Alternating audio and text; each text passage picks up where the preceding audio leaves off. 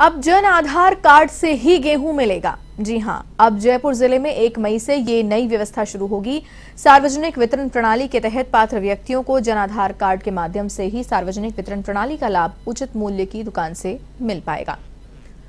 जिला कलेक्टर राजन विशाल ने बताया कि बजट घोषणा 2020-21 में आमजन को जन आधार कार्ड के माध्यम से लाभ उपलब्ध करवाए जाने की घोषणा की गई थी।